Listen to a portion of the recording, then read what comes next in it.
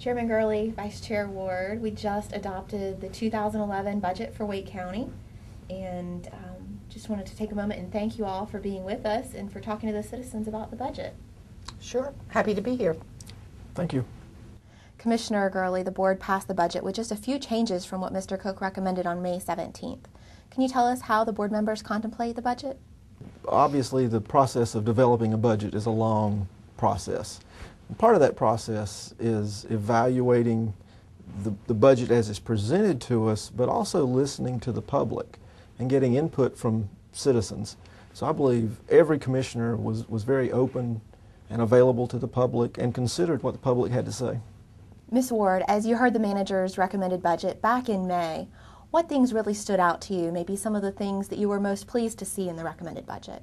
Well, I was pleased to see that we were able to meet the school's requested budget, and we didn't uh, increase the amount, but we at least were able to meet the budget. And this has been a tough budget year. Not as much money as we've always had in the past because of sales tax distributions uh, down, and so for a lot of reasons, I was pleased to see that it didn't go any lower than it did. Well, I, I was pleased to see that we funded the continuum of care for mental health. And that's been a goal of this Board of Commissioners for several years. We have the new facility, a crisis center, opening October uh, this year, and we were able to, to provide funding for that, that level of care that's necessary to help those that can't help themselves. During the work session, the Board of Commissioners had lots of suggestions about the recommended budget. How did you all come to those discussions? Well, the Soil and Water Board, um, they have had several cuts to their uh, staff in the last few years, and I think that we definitely heard from a great many citizens in Wake County.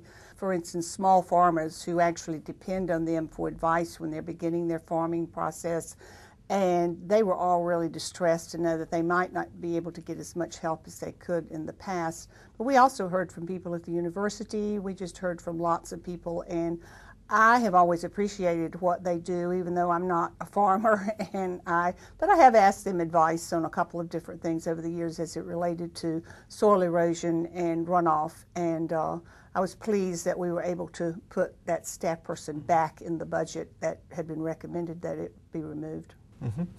I think it was interesting that the two items that we added back in, the, the staff person for soil and water mm -hmm. and a staff person for the Veteran Services Office, right.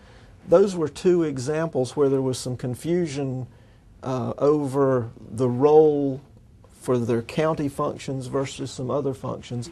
For example, the Veteran Services Office, uh, we decided to keep this, a uh, clerical position there and discovered through the budget process that there was some confusion over how their workload is reported to the state, just like there was confusion with soil and water over what their responsibilities were for, for example, the Falls Lake watershed area.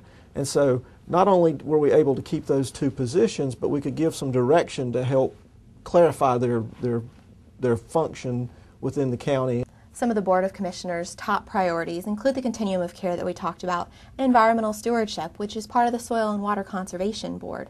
Tell us what other Board of Commissioners' goals this budget fulfills. Well, supports our human service needs, and that's uh, applicable to practically directly to the individuals that need uh, health, mental health, or social services services. And as you well know, we combined those three boards 13 years ago, I believe it was in 1997, and uh, in order to be able to better serve the public, I, along with Tony, am very, very pleased to know that we are able to build this mental health center because we have needed that for quite a long time. And the fact that we're actually almost there is very exciting to me. One of the things that we did, or in the process of doing at the moment, is uh, adding an addition to the animal shelter in Wake County. and pretty soon, I think it's like June the 30th, we're going to have a ribbon cutting on that new addition. And, uh, and during the last year, I adopted a puppy from there, so I feel especially strongly about it. I guess a very important goal of this board is to plan for the future. Right. We had the Blue Ribbon Committee on the future of Wake County looking at all of our infrastructure needs, and that was about two or three years ago. One of the major goals that was identified for us and that we accepted uh, readily was to provide for Justice Center. The new Justice Center, we had the uh, groundbreaking. It's got three cranes there actively building the next uh, courthouse for Wake County. We've also uh, moved forward with the detention, new detention facilities. Something I found really exciting was at that groundbreaking to be able to go to the public and say, this is being done and this will help meet the needs of Wake County citizens for the next 50 years. And there's not a lot of things that we get to do No, we that that provides a, a solution for something for 50 years. So I, I really enjoyed that. Commissioner Gurley, Commissioner Ward, is there anything else you'd like to add? I, I just think that it's important for the public to understand that these are difficult times for county government. These are difficult times for families. The unemployment rate is still at historic high levels in Wake County. As a Board of Commissioners, we, we understand that. Right. And this is the second year of declining revenues for Wake County. But our Board of Commissioners has kept as a major goal to operate with the monies that we have available. Right. At past two years for our retreats where we start planning the budget process, this board adopted the goal of, of operating with no tax increase. And I think the public expects that of us. I expect that of us. We will operate um, just like families do with the money that's available to us and uh, chose not to raise taxes during a recession. I would agree with you. I think that people in the county certainly expect us not to raise taxes, uh, not to raise the uh, taxes because they already have. They're struggling, and they and many many people are struggling that were related to the building industry. And we've had so many people in Wake County that have had to declare bankruptcy as a result of investments that were made that suddenly could not be covered by the amount of money that they had involved in it. And uh, I think everyone has been pleased to know that we have been very conscious of this and have actually our budget this year is less than it was last year.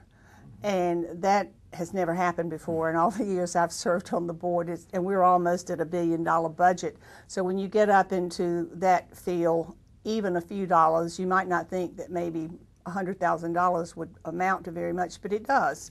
It amounts to a lot, and I think that our staff and all the people that work for Wake County have certainly gone through the process of reducing their budgets in house, being able to look at ways that we can continue to serve the people in Wake County and do it well on a, on a limited budget, if you will.